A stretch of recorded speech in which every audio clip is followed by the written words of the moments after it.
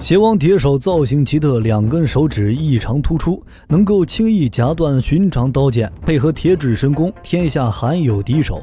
皇宫中也有一把尚方宝剑，乃是天外云铁所铸，相传可上斩昏君，下斩逆臣，甚至还有莫测威能，斩妖除魔不在话下。当这两件宝物对上，又会碰撞出怎样的火花？金碧辉煌的大殿中，本应庄严肃穆的气氛，却是一片哀伤。九王爷反叛，叛军即将攻入皇宫，皇帝遂将两位太子连同传国玉玺与尚方宝剑分别托付给侍卫长方正与古龙。还未启程，九王爷的叛军已经杀进大殿。为了保护两位太子，皇帝自刎剑下，侍卫长古龙只来得及将叛将除掉，带着两位太子与信物冲出重围。未料在宫外又撞见了九王爷手下高手，火将善使火焰，威力极强，刀生烈焰能将人瞬间点燃；水将擅长水遁，可在水中自由穿行。两大高手令大内侍卫损失惨重，两位侍卫长只能分别突围。李正带着大太子逃到野外，碰见了早已等候在此地的九王爷。大内侍卫虽强，却强不过九王爷的铁指神功。李正见状，假意投降，出其不意间偷袭，也未立寸功，反被一指击断长枪，被王爷一招击成重伤。幸得两位同伴拼死拖住，李正才能虎口逃生。他本是少林俗家弟子，一路奔逃至少林寺戒律院。这里有三位隐士高人，号称三傻大师，因违反寺规被住持处罚到此，二十年不得离开。李正伤重难以活命，临死前将大太子交给三傻大师，连同传国玉玺一并托付。而古龙则是带着二太子，利用水下通道成功逃脱，顺着暗道来到丞相府里。丞相也对九王爷的逆反弑主行径深恶痛绝，不顾风险收留古龙二人，对外声称二太子是自己孩子，取名王子泰。转眼二十年过去，大太子已经成为少林弟子，法号道行，跟随三傻大师修行。三位师傅虽然看上去疯疯癫癫，却是实打实的少林高僧，精通少林绝学易筋经，每日也不教道行武功，只是不停的戏耍他。在不知不觉间，便将易筋经倾囊相授。而道行本身也是天资聪颖，尽得三傻大师真传，武功不俗，即便弟子中的大师兄也不是他的对手。哪知这大师兄心术不正，欺负道行不成，反而当众出丑，因此对他怀恨在心，甚至勾结九王爷部众，狼狈为奸。而丞相府中，王子泰也生得风神俊朗，跟随古龙学习剑术，剑法高超，以真知化境。见他武功已是青出于蓝，古龙提点他，虽然剑术极佳，但内功方面还是欠缺，想要向九王爷复仇也是很难，必须继续隐忍，等待时机。这二十年来，九王爷权倾朝野，甚至扶持一位傀儡皇帝上位，挟天子以令诸侯。但即便如此，他依旧没有放弃对两位太子的搜寻。一日，听闻手下上报，丞相家的公子与太子年纪相仿，九王爷立即来到丞相府上，却见到王子泰一身书卷气，不甘心的王爷出手试探，指使手下对其拳打脚踢。王子泰知道自己还不是对手，将仇恨深藏在心中。即使铁指离双眼只差寸许，也没有暴露武功，暂时打消了九王爷的敌意。但经此一事，丞相等人明白，暴露是迟早的事。而九王爷的铁指神功过于霸道，除非去少林寺学成易筋经，才能有一战之力。为了避难，也为了学武，王子泰当即决定前往少林寺。少林寺中，住持命大师兄带人下山为一户人家做场法事。大师兄假公济私，不但让道行陪着一同前往，还让一窍不通的他来主持法事。这户人家的女婿刚刚去世，只留下妻子一人孤苦伶仃。哪知夫妻二人生前恩爱，丈夫死后依旧纠缠不休，化成鬼魂附在妻子身上，大开杀戒。大师兄奸诈，直接跑路，留下道行一人苦苦支撑。刚要离开时，正碰上王子泰。王子泰当即拔出尚方宝剑，发出一道浩然正气，令鬼魂现形，再接一剑将其斩灭。事情解决，道行带着王子泰前往少林。回到少林后，大师兄带着十二护法闯入戒律院。颠倒黑白，指责道行牺牲同门自保，有师傅撑腰，道行自是不惧，施展拳脚激斗十二护法，借助梅花桩与众人周旋。十二护法的禅杖施展不开，被熟悉地形的道行轻松击破，只能灰溜溜逃走。此时，王子泰也打上了少林寺，只为求得少林绝学《易筋经》。一位高僧早已被九王爷收买，号令十八罗汉出阵围攻王子泰。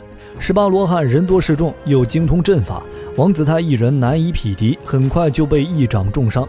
随后又被少林囚禁起来。大师兄带九王爷手下进入密室，就要秘密处决王子泰时，道行出现，适时拦下，武功了得，轻松击退几人，将王子泰救下。刚要离去时，却早已被截住去路。两人自知有口难辩，为今之计只有强行闯关。十八罗汉再度施展阵法。两人分而攻之，一人牵制上方，一人横击下方。霎时阵型四分五裂，但一众武僧人多势众，利用金刚圈困住二人。幸好三傻大师期满出关，轻松击溃一众武僧。临走前还将一个包袱丢给道行。时值九王爷打败西夏国，逼迫西夏圣女进京为妃。王子泰商议，不如趁此机会除掉九王爷。道行最好侠义，当即同意。道行在京城客栈落脚，却发现九王爷已经闻讯前来。恰逢西夏圣女赶到，道行迅即出手，将大师兄击毙。趁着众人被动静吸引，翻身钻进圣女坐轿中躲避。入夜，轿子被抬进皇宫，道行直接现身与皇帝见面。通过交谈得知，如今的皇帝不过是一个傀儡。为此，在王子泰前来刺杀皇帝时，不仅处处维护皇帝，甚至一个不小心出手重创对方，两人也因此交恶。王子泰在河边独自懊恼，却遭遇水火二将杀来。这两人各有绝技，王子泰一时难以匹敌。幸好道行及时出现，二对二，道行两人自是不惧。道行率先解决火将，水将也被王子泰一剑斩杀。男人的友谊就是这么奇怪。方才还在针锋相对的两人，此时重归于好。等到二人赶回丞相府，却发现已经遭遇九王爷毒手，只有丞相与古龙尚有一息。道行扯下布匹要给他们止血，包袱中的传国玉玺顺势掉出，丞相当即认出道行就是大太子，兄弟二人得以相认。很快，九王爷带人攻上少林，道行二人适时赶回。俗话说打虎亲兄弟，一人身怀易筋经，内功无双；一人手持尚方宝剑，剑法超群。纵使九王爷的铁指神功更进一步，但毕竟年事已高，体力早已不是两个年轻小伙的对手，只能依靠坐轿与两人周旋，不时表演坐轿的多样性用法，横着用，转着用，自由滑行，螺旋升天，简直是将坐轿的玩法开发到了极致。当然，这并不妨碍道行一招掀翻他的坐轿，当场让九王爷摔了个四脚朝天。当下恼羞成怒，在王子泰持剑刺来时，一招夹住上方宝剑就要夹断，却不想当场打脸，反被宝剑斩断铁手指。但没了邪王铁手，还有金丝软甲护体，二人见招拆招，分而攻之，上下夹攻，一棍将九王爷脑袋都砸进了肚子里。故事的最后，王子泰带着传国玉玺继承皇位，而道行甘愿放弃皇子身份，正式剃度出家。此剑名辟水，乃是大禹治水的三宝之一。剑身柔长，可在内力的作用下弯曲如蛇，于不可思议的角度下击杀敌手。碰撞时音如滴水，动听悦耳。搭配碧水剑法，又快又密，重者伤口似被如刀细雨刮过。如此名剑，又会引出一段怎样的故事？八百年前，有天竺僧人罗摩来到中原弘法，悟法十九年，练成绝世神功。罗摩圆寂后，遗体被人盗走，分为两截。世间传言，罗摩遗体蕴藏妙法，得知不但可修成神功，甚至能够肢体再生。江湖最神秘的暗杀组织黑石也对此志在必得。传闻半具罗摩遗体被当朝首辅张海端所得，黑石组织遂派三大顶尖杀手细雨、雷斌与彩戏师率领众多杀手血洗张府。细雨则是带着半具遗体就此消失，心腹邪宝叛逃。黑石首领转轮王怒不可遏，召集大批江湖杀手，发布悬赏令，欲除掉细雨。自此，细雨所过之处尽是杀手恶客。虽凭借名剑辟水与绝世剑法无人可敌，然而江湖是条不归路，一旦踏上，便再难抽身离去。为了躲避无休止的追杀，细雨找上为人易容治病的李鬼手，以重金请求其为自己换副容颜，从此不再杀人，退隐江湖。至于缘由，还要从血洗张府说起。那夜。他正欲带着罗摩遗体出城，撞见未死的首府之子张仁凤，挥剑将其斩杀后，正要离去。一个带发和尚拦住了他，乃是迟来一步的陆竹。之后，心存度化的陆竹与细雨纠缠了三个月。陆竹身为少林不世奇才，佛法武功俱是第一，时常用一双银筷与细雨对决，令得细雨向来依仗的辟水剑法也无可奈何。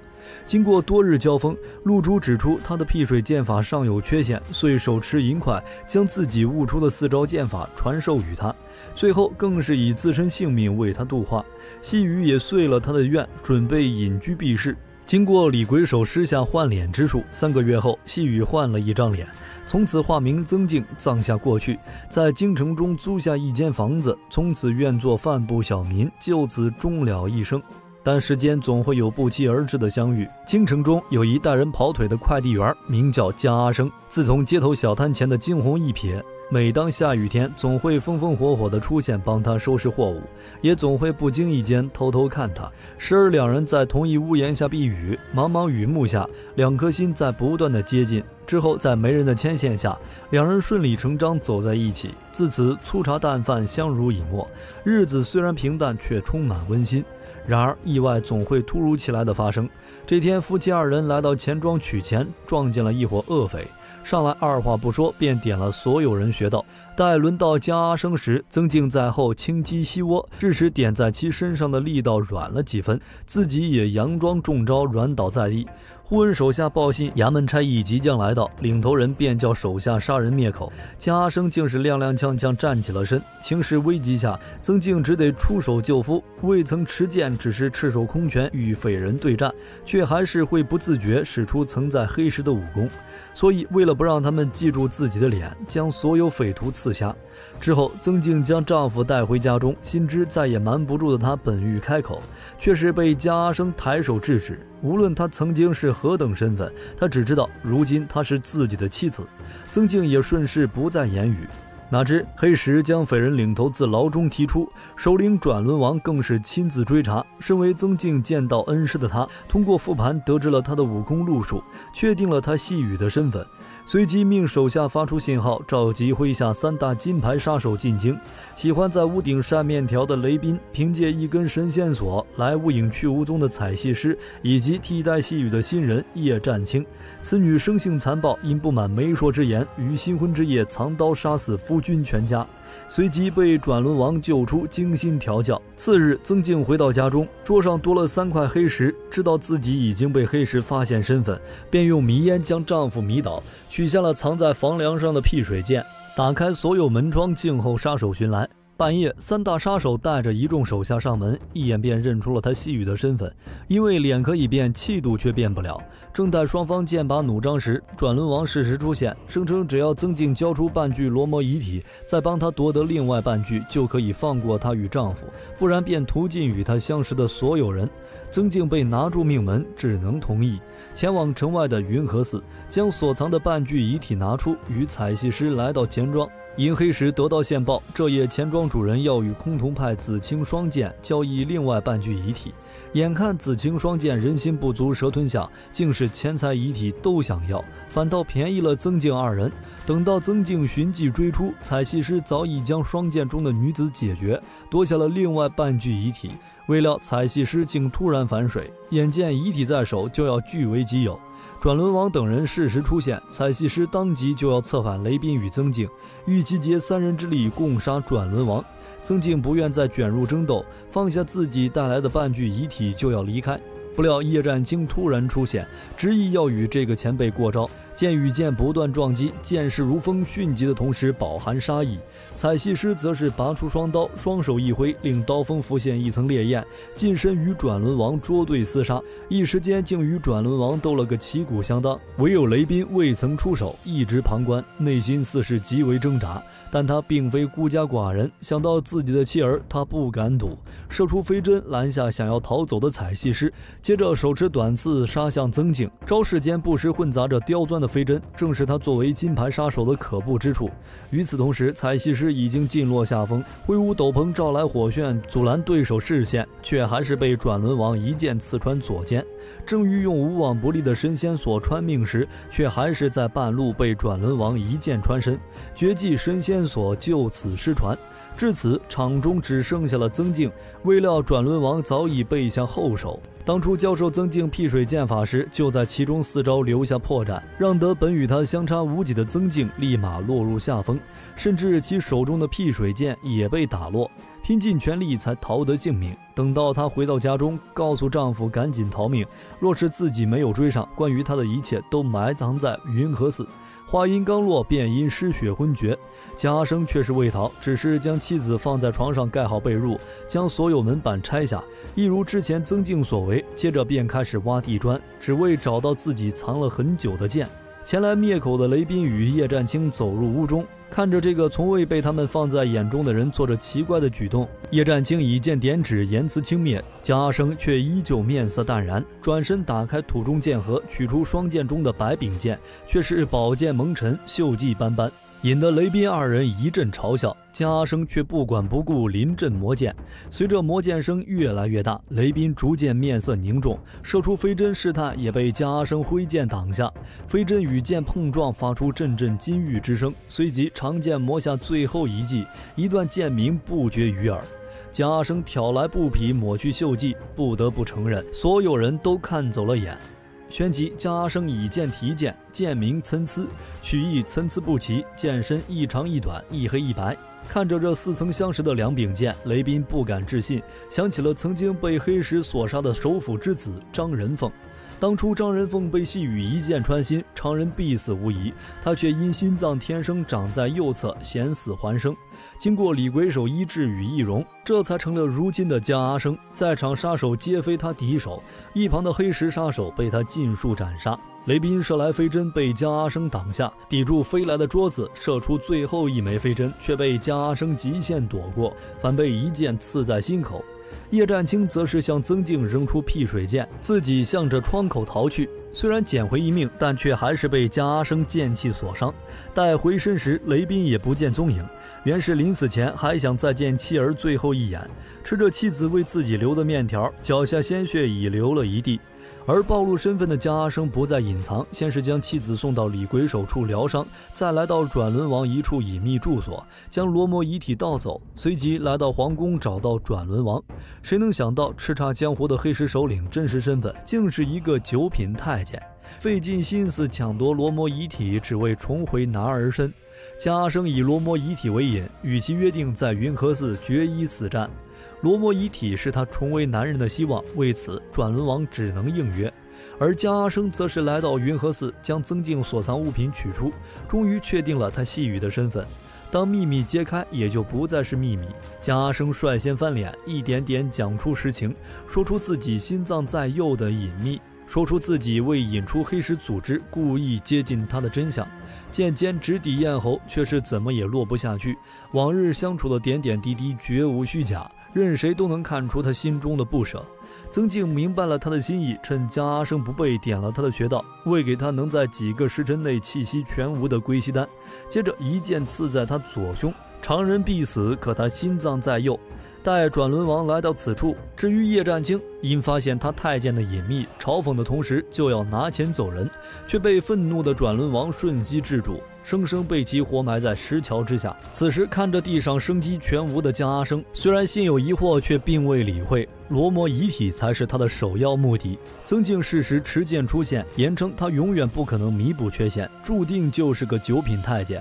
接连两次被挑开伤疤的转轮王当即暴怒，曾静奋力抵抗，但剑法武功俱是转轮王传授，剑法破绽更是为对方所留，是以处处受制，伤痕不断增多。辟水剑更是在一招不慎被对方夺下，重伤倒在江阿生身旁。转轮王则是要向他展示真正的辟水剑法，曾静则是想起陆竹所教他的四招剑法。拔出加生身上的参差短剑，这四招剑法既是补全，也是克制。转轮王一时不察，未曾发现曾静换了武功路数，每次交锋都会在自己身上留下剑痕。直到曾静一剑刺在他的心口，这才不敢置信地看着曾静。万万没想到，成也辟水，败也辟水。曾静则是伤势过重，倒在江阿生不远处。清晨，旁观所有的江阿生这才恢复，看着倒在地上的妻子，心如死灰，却惊喜地发现曾静尚有生息。这一刻，所有的仇怨都灰飞烟灭，他只想陪着他共度余生。两道身影离开寺庙，从此共话桑麻，相守相依。这是一柄会哭泣的剑，剑身曾沾染无数鲜血，一旦拔出，剑名都会伴随着冤魂的悲泣。剑主乃是最强剑客，剑法凌厉，能瞬杀敌手，无人是其一合之敌，甚至可以刀劈子弹。当东方的刀剑遇上西方的枪械，谁又能更胜一筹？这个男子面容森冷，向着自己水中的倒影丢出飞刀，倒影渐渐被鲜血晕染。一个蒙面武士自水中浮现，男子瞬息拔剑，剑锋携带着雪花绽放寒光。随即，更多的武士自水中冲出，男子面不改色，剑尖斜指，缓步前行，独对数名高超剑客。稍息，踏步冲杀，剑光一闪即逝，身影已在敌人背后。血雾弥漫开来，逐渐被浓雾掩盖。男子名叫卑迪，是一方世家流派的最强武士，来此便是奉师傅之命，将死敌门派彻底铲除。江湖纷争从来无关对错，更何况是绵延数百年的世仇。凭借着登峰造极的剑术，杯迪秋风扫落叶般将对方门派踏平。而前方是他最后的敌人，一个懵懂无知的女婴。杯迪正欲随意将其解决，拔剑的手却犹豫了一瞬。此时，风拂过树梢，花瓣随风落下，贴在了他的脸庞。女婴笑了，笑容纯净无瑕。贝迪正要随手取下花瓣，见女婴似要落泪，又将花瓣贴回。看着女婴多云转晴，他的内心泛起了一丝波澜。向来无情的剑刃，从此有了情。贝迪带走了女婴，决心背叛师门，剑出无痕，将追兵解决。哪怕这些人曾是他的同门师兄弟。即便看似人畜无害的旅店老妇，也是伪装偷袭的杀手。面对无穷无尽的追杀，贝迪一把火烧掉了所有的信息，带着女婴登上远赴彼岸的船只，将自己的剑从此封印，来到美国西部的一个偏远小镇。看着这几位少见的东方面孔，小镇居民纷纷投来好奇的目光。贝迪不甚在意，此次前来就是为了投靠自己的好友。但矮子八丸子告诉贝迪，他的那位朋友早已过世，只留下了一间破落的裁缝店。然而，贝迪的师傅来到旅店，找到了他遗留的线索，遂召集所有手下夺取了一艘船只，准备来一场跨越大洋的追杀。面对茫茫大海，师傅表示不要看，要听，那个声音一定会出现。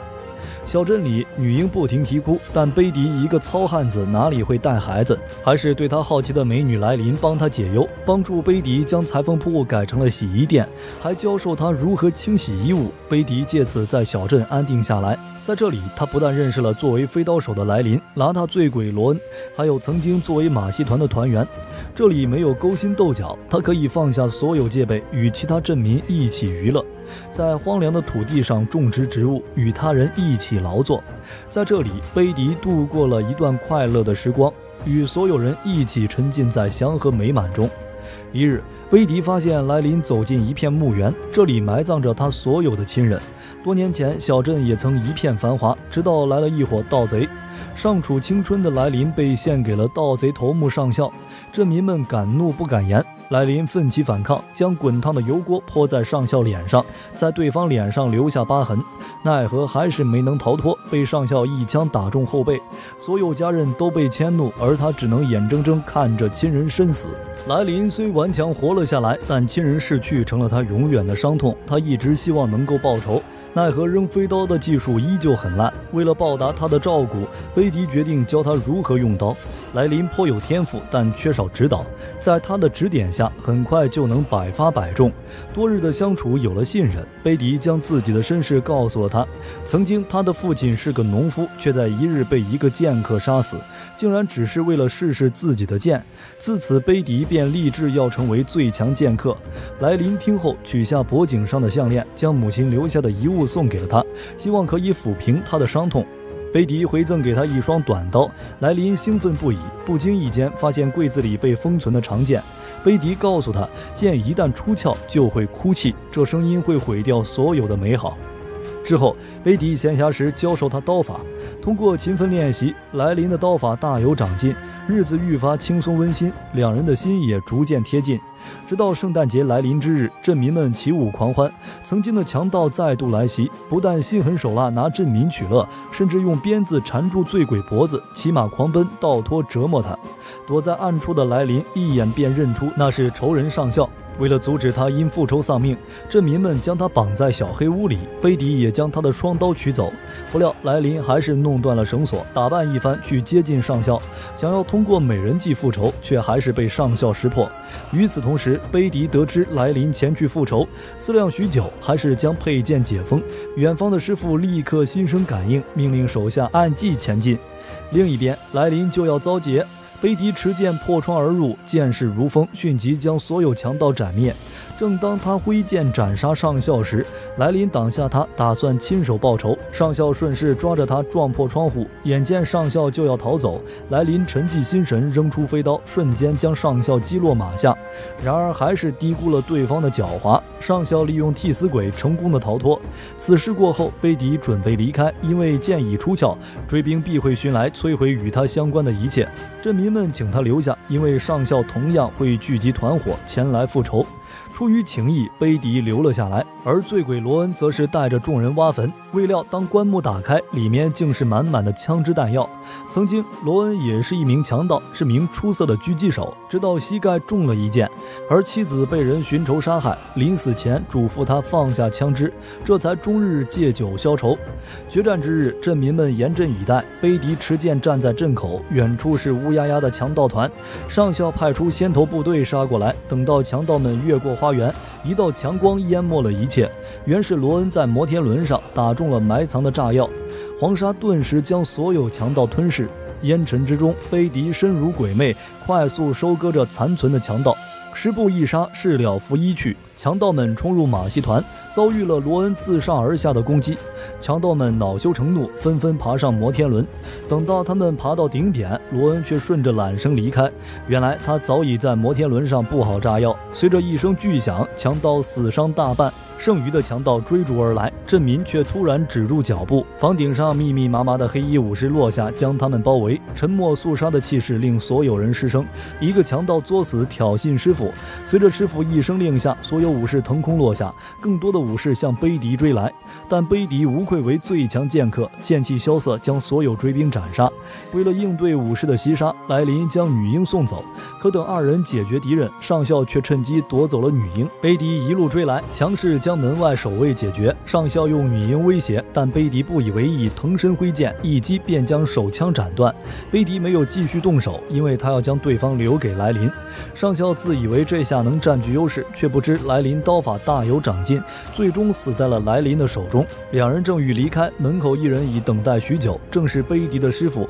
花瓣从天而降，两人相约在野外决战。贝迪率先出剑，却被师傅迅疾挡下。恍然间忆起曾经师徒二人亦是如此。曾经师傅送给他一只小狗，他便视若珍宝。身为武士，更作为杀手，必须做到绝情绝义。为此，师傅命令他将心爱的小狗杀死，哪怕这原本是自己送给他的礼物。画面一转，师傅面色依旧，脖颈上一道血痕却渐渐浮现。临死前的话语好似诅咒：贝迪赢了，他依旧是最强剑客。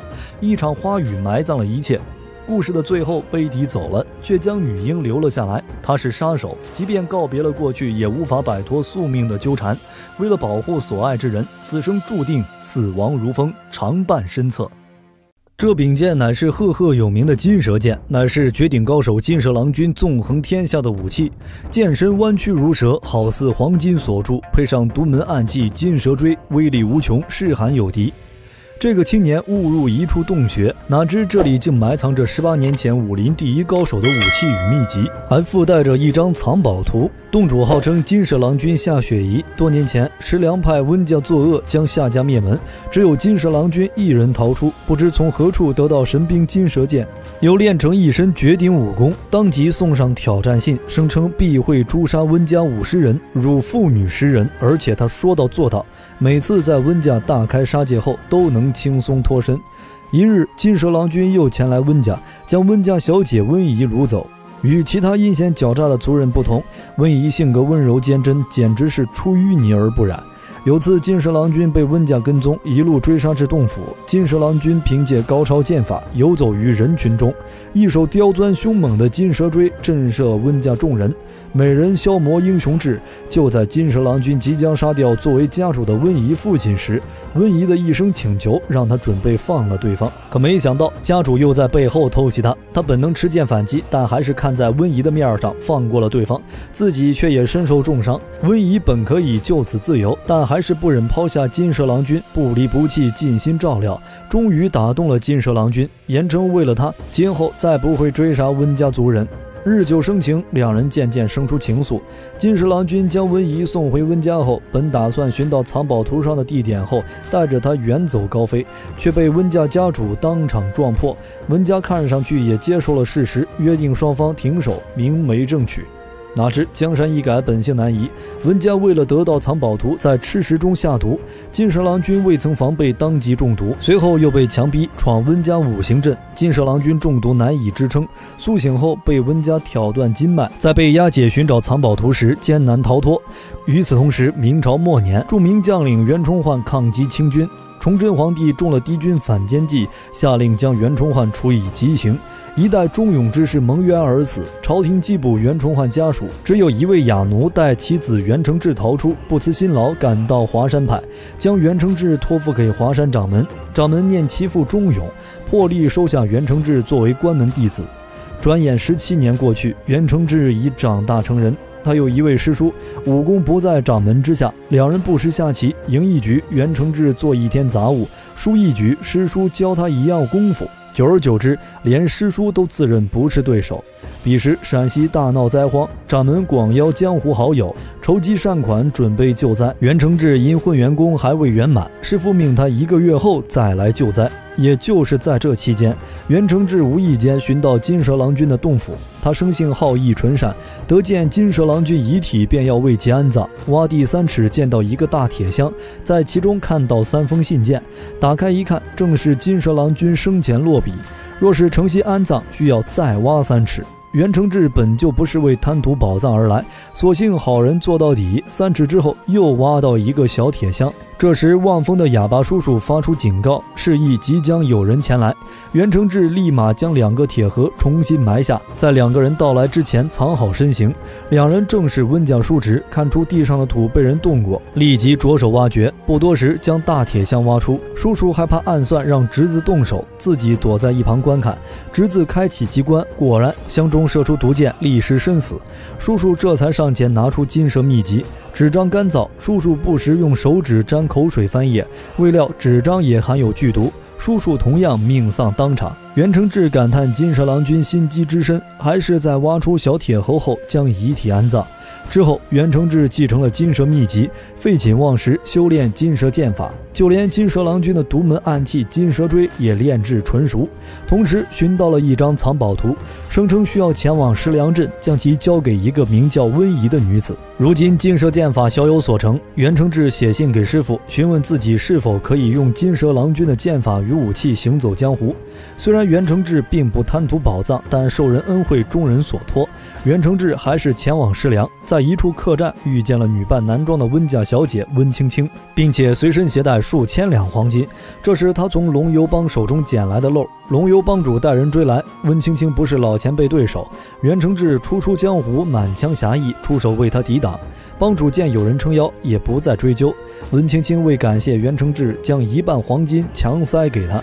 袁承志并非贪财之人，一路追赶至温青青家中。温青青见他来找自己，十分欣喜，请他务必多留几日。此时的袁承志还不知道，这里正是多年前金蛇郎君的死对头温家。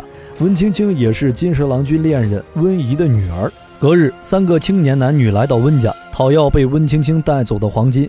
华山掌门一生收了三个弟子：大弟子铜笔铁算盘黄真，二弟子神拳无敌归心术。这两位师兄比袁承志入门很早，早已在外发展弟子。袁承志看出他们使的正是华山派武功，摆出师叔身份出面调解。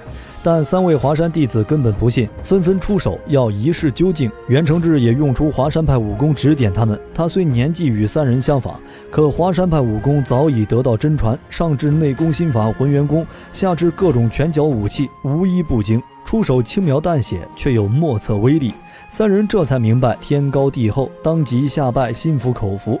那些黄金也是掌门赈灾所用，一时疏忽被温青青劫走。袁承志闻听此言，让他们先行离开，自己会讨回黄金交给他们。然而袁承志没想到的是，方才他为了阻止双方争执，无意间用出了金蛇郎君的剑法，立时令温家家主起了疑心，接连派人挑战袁承志。打斗声引来温家一众家眷，温青青的母亲温仪也在其中。为了试探出袁承志的武功路数，家主甚至不惜亲自上阵，终究确定他学成了金蛇剑法，气氛骤然剑拔弩张。不想袁承志说出金蛇郎君早已身死，这个消息对于温仪来说好似晴天霹雳，当即气急攻心，昏迷过去。入夜，袁承志来到后花园，温仪早已在凉亭等候，温青青也换回了女儿装。温仪将往事全部告诉袁承志。正当袁承志要将藏宝图交给他时，忽然察觉凉亭上有人偷听，来人正是温家长老。温家知晓袁承志得到了金蛇郎君的藏宝图，逼迫他闯温家五行阵。这时，大师兄铜笔铁算恰好赶来。袁承志见他手持铜笔铁算盘，当即上前拜见师兄。得知袁承志即将闯五行阵，师兄打算自己先来试试水，让他好有机会看出破绽。袁承志果然不负期望，很快就看出了五行阵的破绽，指点师兄脱离五行阵。随后，胸有成竹，自己入阵。多年来，温家一直练习五行阵，还增添了一个八卦阵作为辅助。而袁承志却是伸个懒腰，直接躺下。因为五行阵变幻莫测，想要破阵，只能以不变应万变。这副姿态也让温家众人疲惫不堪，摸不着头脑。终于有一个人忍不住出手，袁承志当即以此作为突破口，五行阵被破，温家众人再也无法威胁他，纷纷被他轻松击败。袁承志将玉钗归还温青青，未料温家突施辣手，温姨挺身为女儿挡刀，未过数息便怅然离世。恰逢哑巴叔叔将金蛇剑送来，眼见温家冷血至此，袁承志也不再留手，施展金蛇剑法替金蛇郎君复仇。先前凭借一根玉钗，袁承志便可激战温家众人，更何况如今手持久负盛名的金蛇剑。配合威力无穷的金蛇锥，所到之处敌人尽皆身死。最终横行一方的温家化为飞灰，只剩家主重伤残废。当所有恩怨了结，袁承志带走温仪遗体，准备与金蛇郎君合葬，自己也要跟随师傅前往赈灾。电影也到此结束。